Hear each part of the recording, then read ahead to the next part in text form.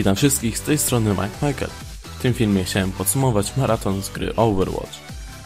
A więc, maraton ciepło się zaczął. Oczywiście, niektórzy byli jak najbardziej na tak, inni zagorzeli gracze Team Fortress na nie.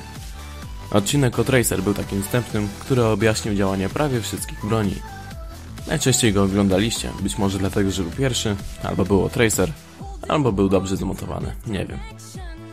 Późniejsze odcinki były słabsze, o wiele słabsze niż te co niedzielne. No to też było parę wytłumaczeń. W wielu przypadkach nie miałem czego omawiać u postaci, tak jak było tu u Makriego. Niektóre opierały się o poprzednie teorie. Łącznie tych odcinków wyszło 1 godzina i 2 minuty, co czyni to najdłuższą teorią gier na moim kanale. Co do długości pojedynczych odcinków, to został pobity również niechlubny rekord najkrótszego. Był to film o farze. Trwał jakieś 2 minuty. Także sporo zostawiałem do omówienia wam. Chciałem dać wam pole do popisu, a także już nie miałem sił pisać scenariusza. Jest to zdecydowanie moja najmniej lubiana czynność w procesie tworzenia filmu na YouTube. Ogólnie cały maraton jak dla mnie wypadł jakieś 3,5 na 10. Włożyłem w to mnóstwo pracy, ale wynik był dosyć mizerny.